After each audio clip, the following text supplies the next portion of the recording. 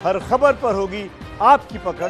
Download कीजिए ABP live app इस वक्त की एक बड़ी खबर आपको बता दें, पुलिस ने राजधानी दिल्ली में एक बड़ी आतंकी साजिश का पर्दाफाश किया। दिल्ली पुलिस की स्पेशल सेल ने खालिस्तान लिबरेशन फ्रंट से जुड़े तीन लोगों को गिरफ़्तार किया है।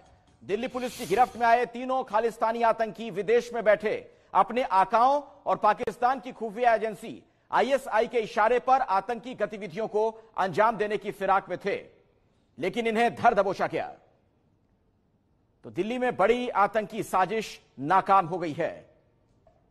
क्यों है एबीपी लाइव न्यूज़ लवर्स का फेवरेट वर्क डेडलाइंस में भी stay updated always so smart कि ये करे सिर्फ़ ब्लू टिक वाली न्यूज़ पिक जस्ट लाइक घर जैसा कंफर्ट है बेस्ट वैसे ही अपनी लैंग्वेज में न्यूज़ की फील है late any time food delivery के टाइम पर मिलिए अपने फेवरेट एंकर से किसी भी टाइम एबीपी लाइव ऐप के साथ रहो सबसे आगे. Download now